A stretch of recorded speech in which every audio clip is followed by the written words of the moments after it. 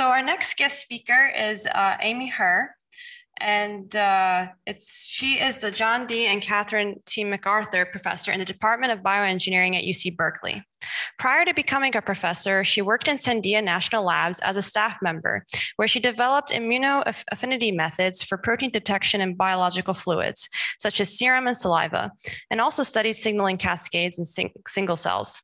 In 2020, last year, Professor Herr has importantly contributed to a scientific consortium that is involved in researching how to effectively decontaminate N95 masks as part of the effort to combat the COVID 19 pandemic.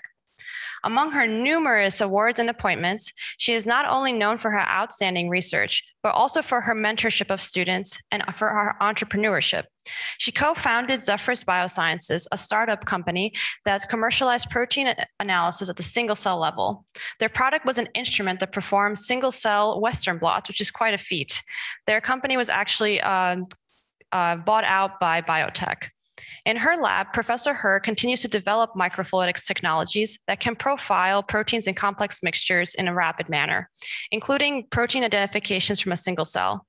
I'd like to hand it over to you, Amy, so that we can learn more about these novel microfluidic tools that your lab is developing. Thank you. Thank you so much. And I just want to check to make sure that number one, you can see my slides, and number two, that you can hear me. Could you just give me a thumb? Oh, thanks. Yeah, yeah, definitely. Everything works. Perfect. Thank you. Thank you and welcome everyone. It's an honor to virtually be here. Uh, of course, I wish I was with all of us um, in the auditorium that I can see tiny on the side of my screen. I really want to thank the organizers for pioneering this new hybrid format as a way to bring us together, those of us who can be together in person, and of course, many, many of us who are dialing in from remote places. So, thank you so much. I know that has taken a lot of work and a lot of thought. I am doing something like that for the MicroTAS conference held October of this year uh, around microfluidics. Uh, we have about 1,100 attendees, uh, about two thirds remote and one third in person. If you're interested, please take a look Uh, today, I want to dig into some engineering and chemistry. I'm going to give you a pretty deep dive into a set of technologies that we've been designing and deploying for measurements that I think are somewhat neglected and quite complementary to the last talk that you've heard. Um, I will give two vignettes of projects that we've been working on. One to share with you uh, our approach uh, to designing and developing new tools uh, so I'm a bioengineer and mechanical engineer by training. So that is the focus of the research I'll talk about today. And then also to potentially uh, stimulate questions or thoughts um, or possible connections between the work that you're uh, pursuing and the work that's happening in my group. So hopefully um, we'll meet those two goals um, as we walk through the short presentation today. So what I'm going to talk about is really tools, tool sets to measure cellular to molecular heterogeneity. And for us, that means with precision microfluidics, uh, an area that we've focused on um, over the past couple of years has really been around, uh, again, this gap that you heard mentioned in the previous talk, uh, but I think could benefit from a tremendous upswell in new high specificity tools. And that are questions, and those are questions that really involve the highly specific measurement of different proteoforms. I'll walk through um, essentially what that means. So, when we think about cellular heterogeneity, we know that cell to cell variation is important for disease, uh, understanding disease progression and life processes. We also know that molecular heterogeneity is important. Oftentimes, we think about single cell tools and just the tremendous advances um, that tools specifically focused on uh, direct measurement of DNA and RNA are bringing, both to our understanding of biology and biomedicine, but also really to the way that we ask questions. Um, I have to say that those tools obviously are quite powerful and have opened new doors and will continue to do so. Um, but I do want to remind you, even beyond what we've been thinking about this morning, uh, that there is an entire constellation of molecules that are out there, proteins, that exist in what I consider to be a combinatorial explosion of different states.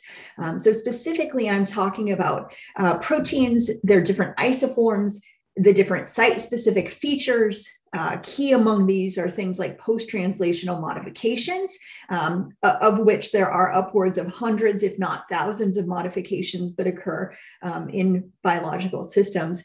And then, very, very importantly, this combinatorial explosion, as I call it, of a combination of each of these. Um, so the way that the different isoforms, site-specific features, uh, changes in conformation can all be reflected in the specific function of a specific protein molecule as it exists uh, in nature. So when we talk about proteoforms, and there's a, a, really nice set of articles that introduce this more blanket concept, this more umbrella concept, um, extending beyond the concept of protein isoforms.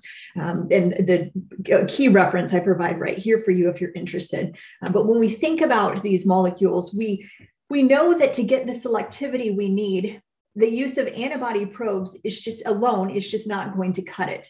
Um, and that's because estimates of the number of proteoforms that exist um, span anywhere from 10 to the sixth to 10 to the ninth different unique molecular species. So even if we could generate affinity reagents for each of those species, um, or species of interest, thinking about generating on that scale, well, potentially possible. Um, I'm not going to wait for it. Uh, potentially possible is daunting, uh, to say the least. And so I would urge you, if you are thinking about ways to help advance uh, single cell understanding of biology um, and biomedicine, that thinking about some of these targets um, that are quite literally blind spots to the tools that exist today not measurable at the DNA level, not measurable at the mRNA level, and certainly not measurable with exi- many existing of the immunoreagents that are out there. So, to quote um, another really nice article that sort of introduced this umbrella concept of proteoforms, these specific molecular forms are a complex and largely uncharted world of natural proteins. Uh, so, that for me links when we think about things like the Human Protein Atlas, the Human Cell Atlas, um, and these different uh, large scale efforts, which are quite important and making good headway to hear the words uncharted world um, really uh, kind of piques my interest as well as others certainly um, with thinking about how can we understand uh, not just the state but also the role um, of these molecules that were these protein molecules that we're not really measuring at all in many cases um, with the exception of a, of a tiny important handful I guess the flip question of that is of those that we're not measuring, how many of them are important um, and we're not seeing them at all? So, where I uh, really started with uh, this, again, as an engineer, as a measurement scientist, as an analytical chemist, um, I had a chance to spend part of my sabbatical uh, in a clinical lab a couple of years ago with Mark Pegram and Stefanie Jeffrey, visiting them um, periodically at Stanford, um, and really opened my eyes to how important some of these proteoforms are, not, not just in understanding, but also in clinical medicine. Uh, and this has formed the basis for um, several uh, projects um, that we've pursued and are currently pursuing. This is around questions of oncoproteins and the role that different proteoforms of those oncoproteins play. So, again, I am going to use this time with you to deep dive into specific questions and measurement systems. Um, with the hopes that uh, will uh, pique uh, some interest in you and maybe the tools or approaches that you're developing, and you can help us, um, not just me, but our field, uh, tackle these problems. So, cut to the chase. The example that I'm going to use today is the ERBB2 protein. This protein is also known as a HER2 protein. It is a transmembrane protein. So, if this is the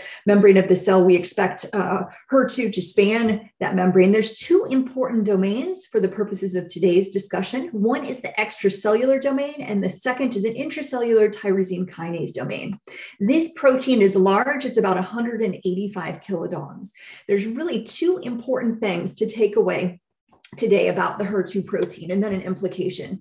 Uh, and the first important thing is this extracellular domain of this 185 kilodalton protein was the very first uh, protein domain that was targeted by the first FDA approved targeted cancer therapy. So, when we're thinking about uh, moving away from chemotherapy and radiation therapy or augmenting those with a targeted therapy, trastuzumab, trastuzumab a humanized monoclonal antibody, fit the bill, uh, also known as Herceptin, in terms of being able to target that extracellular domain of HER2, which is oftentimes dramatically overexpressed on cancer cells.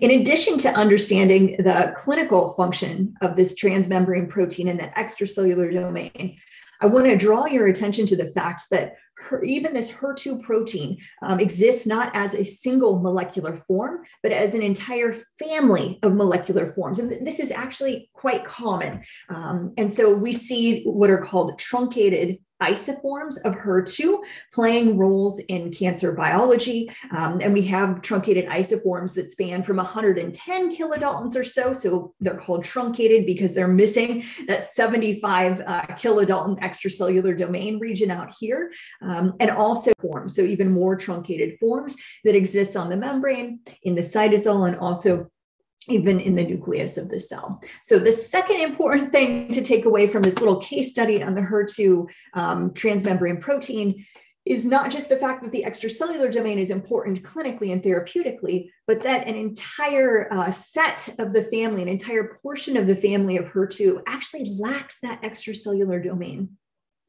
And so clinically, that means if we have HER2 expressed in a cell, and we know that that is helpful, but we have to understand what form of HER2 is expressed because if, instead of being the, the transmembrane full length protein, the form is a truncated isoform.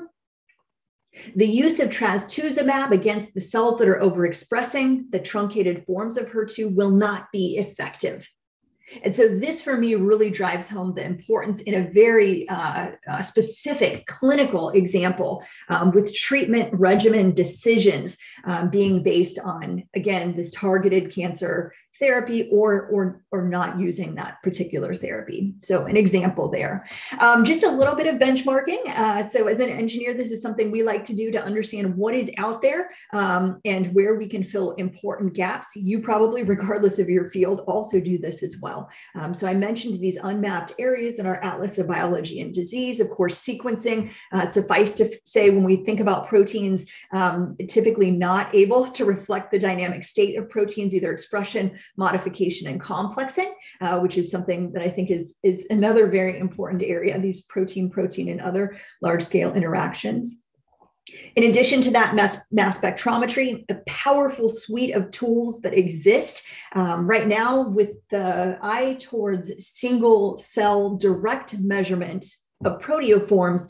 These tools are currently stymied by limits of detection, limited throughput, and then the fact that most of mass spectrometry advances that are inching us towards or have gotten us to single cell resolution are methodologies that require digestion of the proteins prior to analysis. So, thinking about how to do instead of bottom up, top down mass spec um, to be able to re- retain the stoichiometry that is so important to understanding not just the presence of particular modifications or proteoform components, but the actual stoichiometry of what that molecular family looks like in a particular question of interest.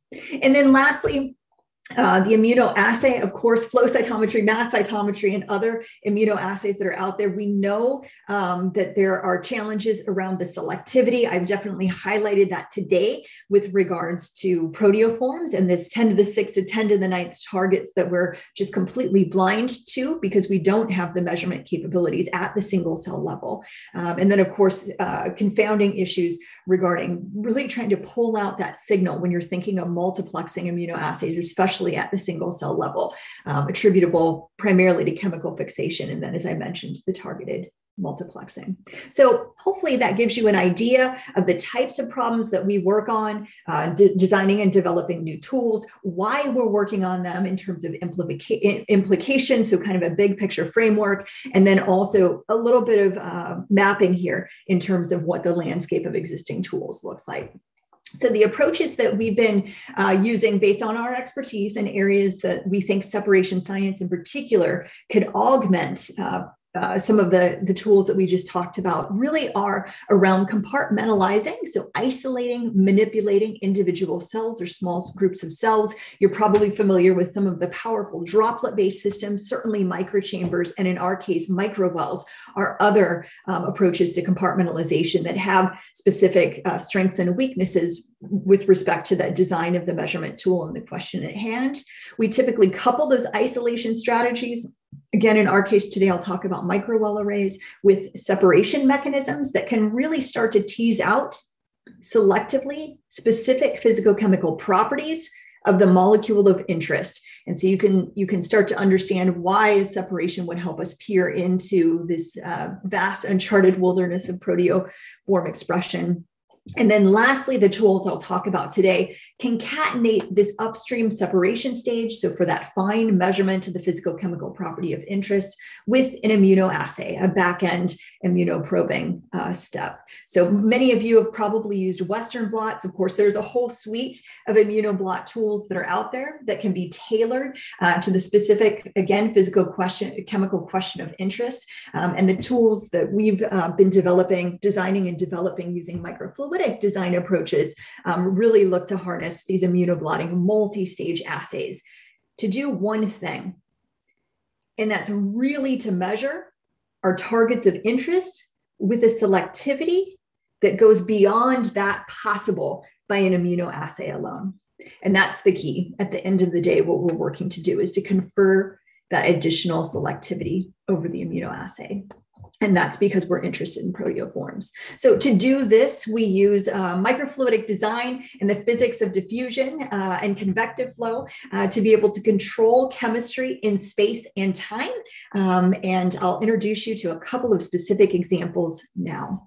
Uh, so the, the past several years, we've de developed, a, again, a suite of measurement, molecular measurement tools that are based, again, on these separations types approaches, drawing from single cell samples, um, all using using a very similar chassis. Uh, so that's a, a, an open microfluidic design. And I'll walk you through what that means and why we think that's important and opens up new measurement opportunities. So how do these assays work? Uh, these single cell immunoblots, again, to confer that higher molecular specificity isolation of an individual cell. So a cartoon here, you're just looking down on a cell nestled in a microwell. Um, being able to address those microwells with the upstream sample preparation, chemistries, and conditions of interest. Uh, of course, in measurement science, those upstream conditions for sample prep are absolutely critical. Uh, I think in computer science, we like to say junk in, junk out. Um, and so that's something that we're very aware of in terms of uh, really trying to control in a reproducible and known way how we prepare the molecule molecules that we're interested in measuring downstream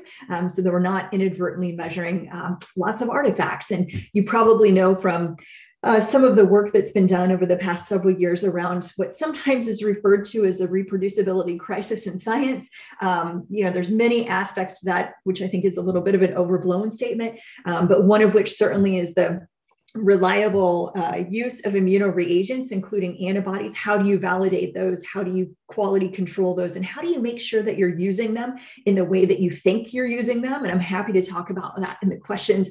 Um, I've had a chance to serve on a working group, a workshop with the NIH around that topic. But a second element beyond the uh, use and inadvertent misuse of immunoreagents is this upstream sample prep and how you control your sample before you make the measurement. So long story short, um, we're able to control uh, that upstream sample uh, handling uh, and then essentially perform a separation. For us, we're pretty interested in electrophoretic uh, mechanisms of separation. So size based um, native separations, um, isoelectric focusing, um, and some other separation mechanisms that essentially drive the now solubilized targets of interest into uh, this region of our device that surrounds the microwell. Um, the work I'm going to describe to you today uses a polyacrylamide gel. There's a little bit something different about the gel um, than the gels that you use in slab gel systems. But for all intents and purposes, this is a phenomenal molecular sieving matrix for proteins and molecules of similar sizes um, under electrophoretic conditions. So the solubilized protein migrates through the wall of the microwell and, and each of the species start to resolve based upon differences in, in whatever physical chemical property the assay has been designed to resolve those targets based on. So size is an example that's given here. Uh, polyacrylamide is also a nice material because it's a great structural material uh, for us to be able to create these compartments um, and do that upstream sample handling. The second aspect is uh, uh, leading us towards that final stage of the assay. So a separation step, we've got our molecular sieving matrix, our electrophoretic mechanisms of interest. We want to get to the immunoassay. Um, so what we need to be able to do is essentially toggle between what is a homogeneous system. So that means we've got protein targets that are floating uh, in the hydro part of the hydrogel. Uh, so in the liquid filled pores of that polyacrylamide uh, gel network, what we need to do is take those molecules that are in solution and uh, attach them uh, to a surface. So that makes the homogeneous system into a heterogeneous system, which allows us to then uh, perform immunoassays on those now immobilized species. Uh, and so for us, we've used some photoactive chemistries. The one I'll mention today is benzophenone. We incorporate benzophenone into the polyacrylamide matrix by using a synthesized benzophenone methacrylamide uh, monomer that incorporates during fabrication. After we've completed the separation, we can just basically shine UV light on this hydrogel and covalently attach our targets to the polyacrylamide gel, so a 3D matrix, um, which allows us to probe in this final immunoassay step. So hopefully that makes sense. The data I'm going to describe in a couple of minutes is all really predicated on your understanding that, um, which of course has nice analogy to some of the things that we do with macroscale separations. This is what one of our devices looks like. This is a glass microscope slide. This is an isometric view that you're taking a look at here. Um, that thin layer of polyacrylamide gel that I mentioned, which allows us to form the microwell array, each of which houses an individual cell. Um, and then of course, really important, abutting each of those microwells is the separation lane. That's where we perform the readout of the, of the protein targets of interest. So hundreds to thousands of microwells on each of these open devices. You'll notice that in our case, we're not using any microchannels, microchambers, pneumatics, meaning pumps or valves.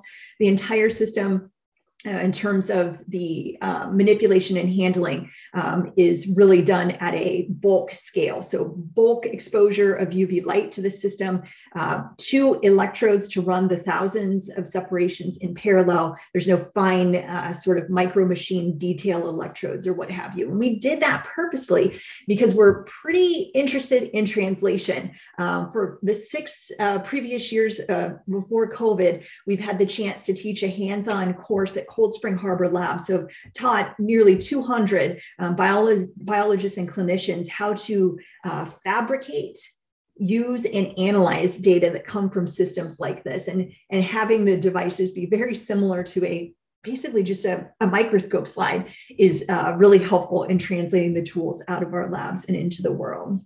So that gives you a view of the device to quickly give you a view of what this device chassis, this kind of general open microfluidic framework looks like, I'll just zoom into the endpoint um, of a single cell immunoblot example. This is one block um, of the microwells that you saw just a moment ago. So here's bright field of the cells um, uh, compartmentalized in those microwells. And then after uh, lysis, solubilization, and completing the multi-stage assay that I just described to you, in the region abutting the microwell, you can see the readout uh, for the high selectivity immunoblot. Um, I want to draw your attention to the fact that the lysis and separation stage uh, combined takes less than a minute. So very, very fast electrophoresis, um, especially if you're used to using capillary or slab gel-based systems on the macro scale. And then really um, dovetailing with that here, the separation distances we use are about 500 microns, so about five diameters of a human hair um, or a millimeter or so in length. So tiny, tiny, tiny separation distances as compared to those uh, slab gel based systems that we're familiar with um, with macroscale samples. So separation st- science standpoint, we can do um, perform Gaussian fitting to be able to estimate the abundance or expression level of a target of interest as well as the molecular mass.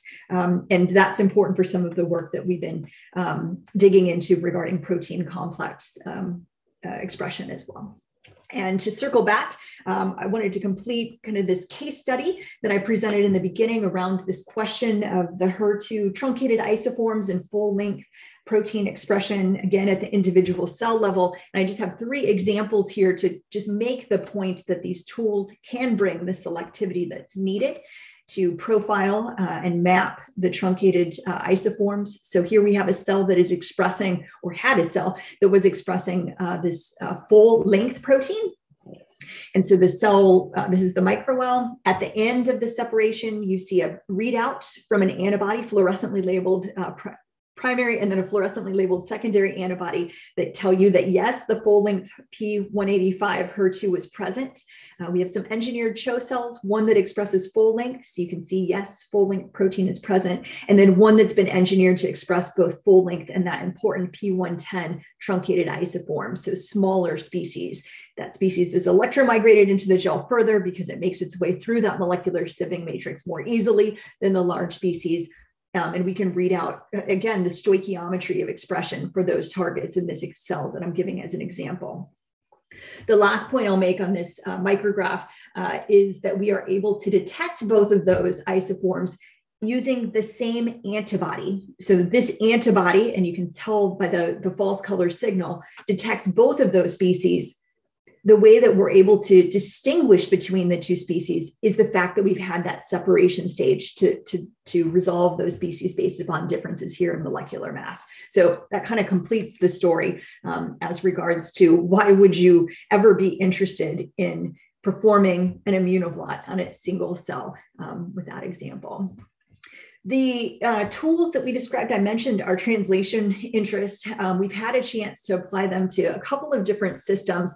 An area that's really a sweet spot for us are looking at scarce clinical samples. Um, so when we don't have, you know, suspension of cells available, of course, typically we do start with the cell line so that we can uh, develop and validate the measurements that we're making. Um, but we uh, found that there's very few tools that allow this sort of specificity, especially for scarce populations. And one example that we published on a couple of years ago now with Stefanie Jeffrey um, is around this putative circulating tumor cells. So this is just a profile of a single circulating tumor cell or a group, I'm sorry, of circulating tumor cells with single CTC resolution.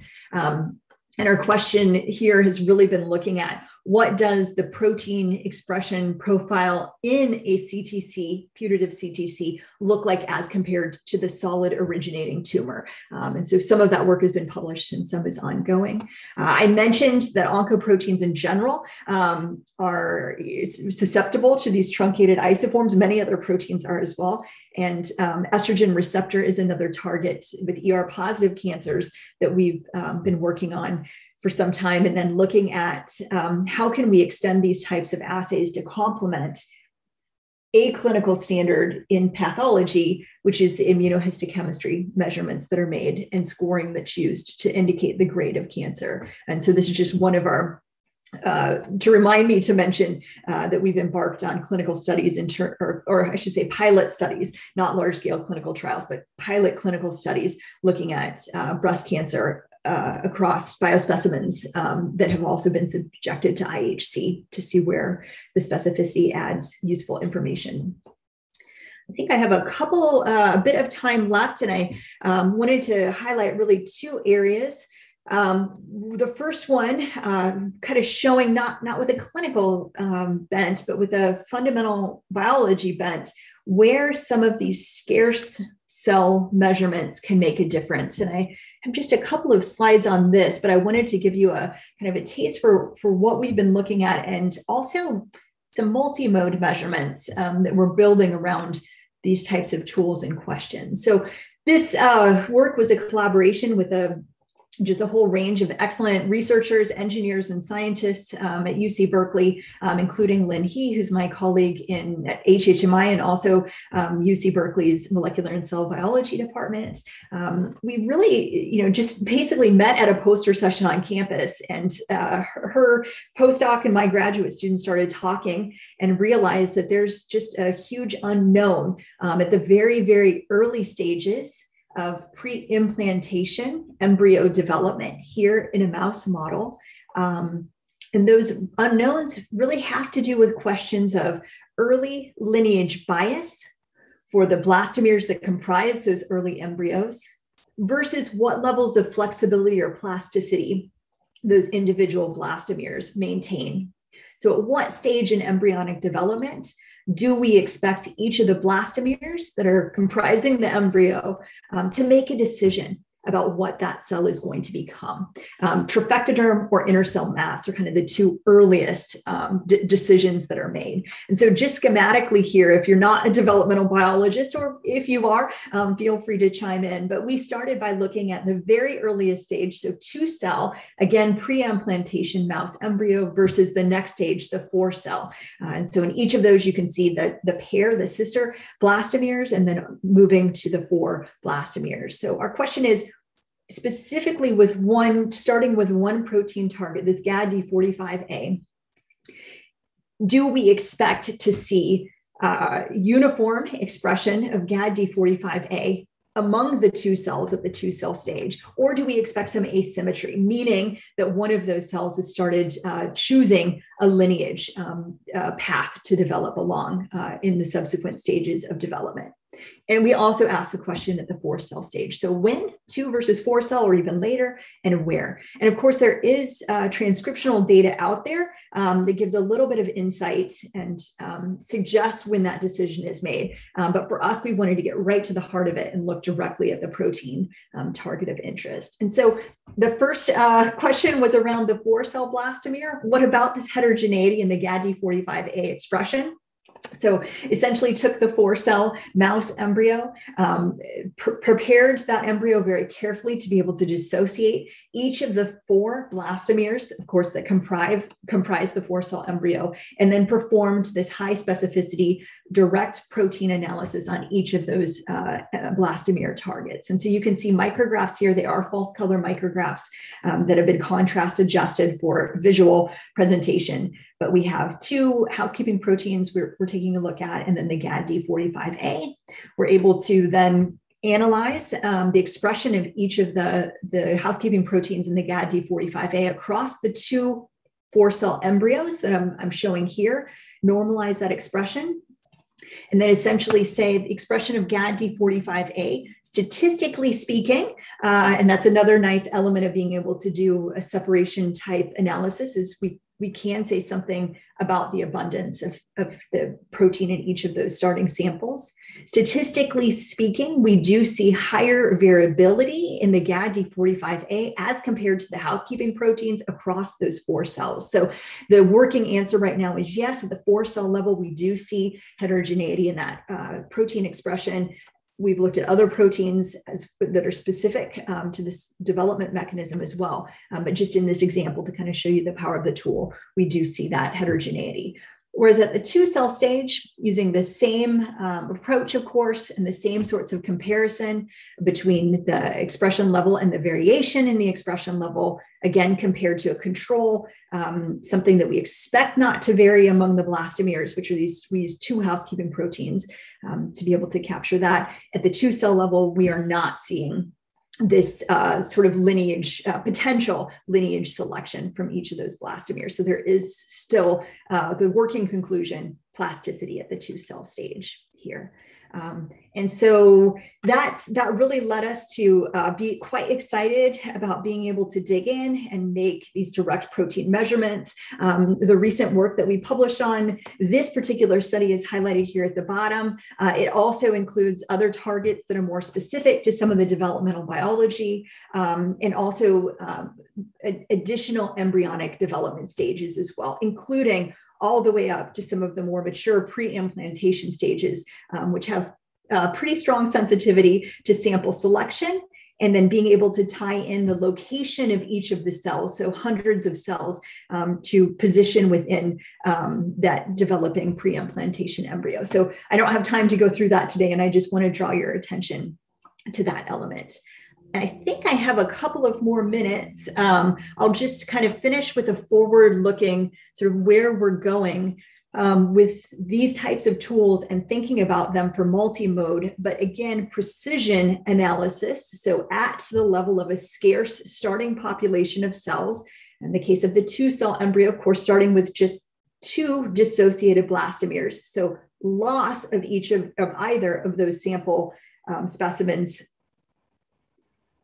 is catastrophic to the measurement. Uh, so being able to handle, manipulate, and then analyze each of those cells and index back to the starting embryo um, that we began with are important considerations for the precision. This uh, system we have adapted and advanced um, to be able to also tie together measurements of the protein um, expression and the proteoform expression in each of the starting cells with downstream measurements of uh, both DNA and the mRNA as well. Uh, so in this particular example, I'll show you today one of our early um, platforms, which has evolved since our uh, recent publication of this work, um, that essentially uses the separation system, so the microwell, to isolate again the individual cells, allow us to uh, solubilize the cellular membrane while keeping the nucleus intact.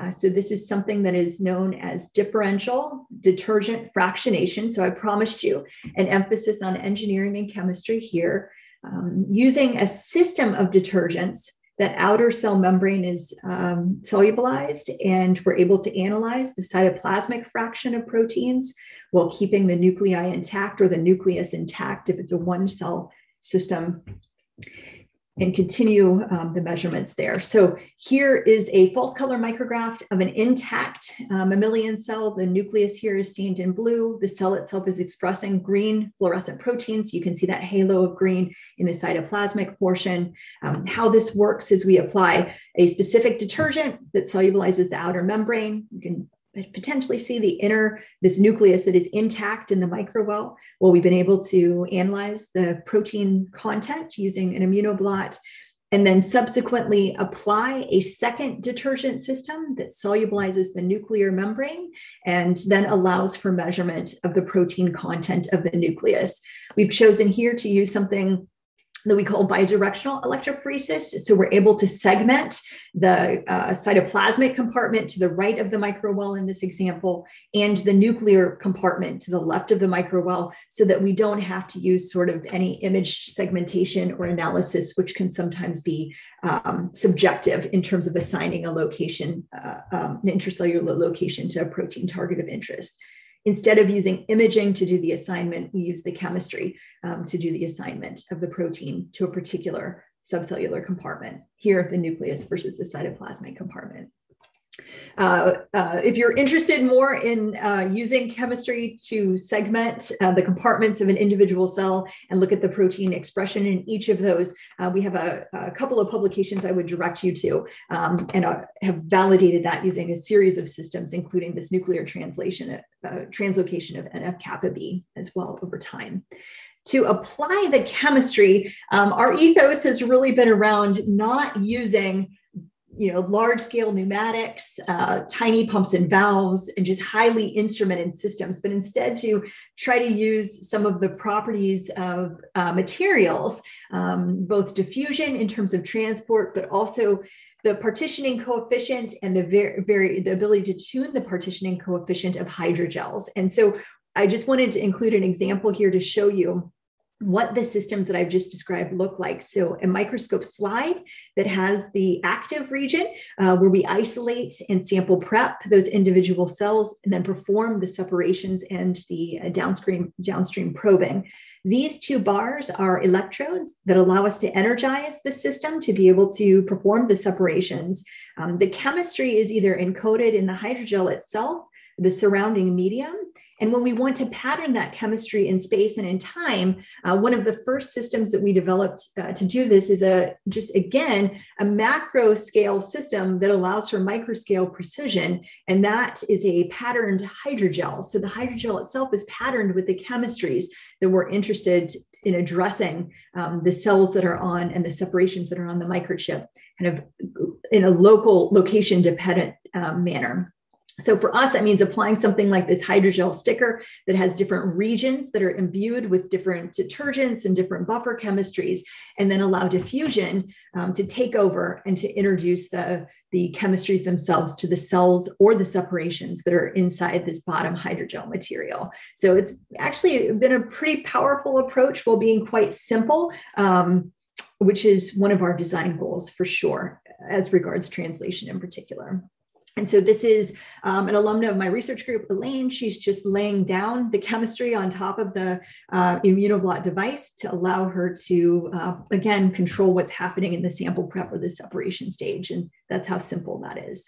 Um, one last thing I'll say in terms of the separation stage, I've highlighted a little bit our work with uh, size-based separations, certainly for the truncated isoform example with the 75 kilodalton difference in molecular mass that's uh, a well-suited separation. In some cases, some of the physical chemical properties we're interested in discerning are not so large. Um, and so we have also um, developed a suite of other separation mechanisms, including adapting isoelectric focusing to single cell systems. You can see our microwell right here, um, which has allowed us to resolve species uh, down, down to targets that have just one charge difference between each of those isoforms. So 0.5% or smaller mass differences.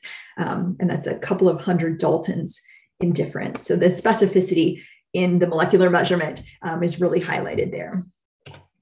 And lastly, I'll just finish up by saying uh, the multimodal measurements, again, adapted for scarce samples in particular. After completing the separation, being able to pull out the information that we want about the protein uh, uh, targets of interest, then extracting, in our case, we call this a little gel pallet that contains the nuclei or the nucleus, and subjecting that uh, indexed nucleus to downstream analysis. So the example here um, in this work that was uh, just published recently, the example that we're showing is PCR and RT-qPCR um, with DNA and mRNA. So I'll just finish by showing a highlight from two cell, four cell, and blastocyst, so this much later stage of pre-implantation development, tying together the protein expression uh, for a specific target of interest, and then extraction of the gel pallet uh, to be able to look at the correlation or the relationship between the expression, the direct expression of the protein, and then also in this case, um, the PCR, QT, RT-qPCR results, respectively.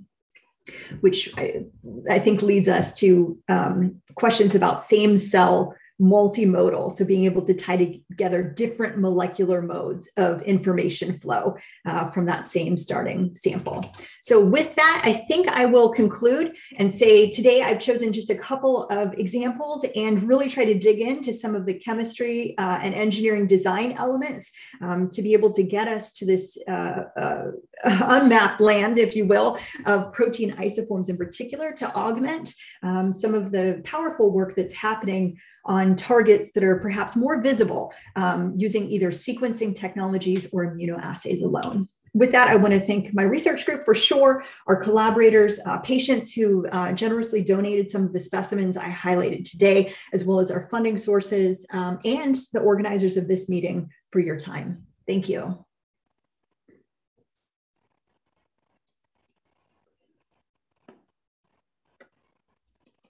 Amy, uh, Raja says, great talk. Could you comment on the possibility to measure PTM occupancy, like HER2 phosphorylation occupancy at a single cell level by immunoblotting? Yeah, that's a great question. That that uh, thanks for that observation. That is, I would say, um, you know, I don't know if it's hyperbole to say it's a holy grail, um, but it is definitely a uh, goal of these types of tools. The data that I showed you on the single charge unit differences, and in that case, it was GFP that was expressed in a mammalian cell, so a pretty well controlled system. We use isoelectric focusing, single cell isoelectric focusing, followed by immunoassay to do that. That does point to the capacity of being able to measure something like single um, phosphorylation differences between molecules. So we have not done that yet. And I think your goal there, of course, is uh, a really important one. And I think it is within reach. Again, because of the specificity um, of the detection stage. Okay, great. So Herbert asks, how are single cells deposited in individual wells? Is there a doublet issue? Oh yeah, okay, yeah. I, I um, uh, yes, absolutely. I mean, it's Poisson statistics, just like any compartmentalization approach. So, if you may be a little bit more familiar with droplet based approaches, you know that um, you can design the size and the frequency, the suspension um, uh, you know, the density of the suspension as well to kind of drive you towards single cell per droplet occupancy. It's exact same thing with a microwell based system. Um, just like a droplet, our microwells get full, so they can be overloaded with cells. And just like a droplet, you can have an empty compartment as well. So there's a little bit of differences there, but not no special physics at all. it's just what you understand. So yes, um, we have published a nature protocol that really outlines some design guidelines for how you can design your system to really push you towards single cell per micro well occupancy. And for the micro well system, it really comes down to the aspect ratio that you choose to use for your micro well compared to the size of the, the diameter of the mammalian cell or other cell that, excuse me, you're interested in. So nothing, nothing surprising there. We have um, in some of the scarce cell samples, so I mentioned the circulating tumor cells, and I showed some of the data from the two cell pre-implantation embryos, so those two blastomeres. For those types of analyses, because we have such small starting amounts of material, throughput isn't really a concern for us. Um, so handling cells individually is really no problem. Uh, so microtransfer pipetting is really helpful um, in those systems and uh, concatenated with imaging. And then lastly, we have developed some systems that use centrifugation. So instead of being microwells in the device, they're along the walls of the device. And I think there's some maybe carnival rides that are like that. Um, and we can use centrifugation to populate those microwells in a really active way. I didn't show that today. Thank you. Okay, great. Thanks, Amy. So we're at three.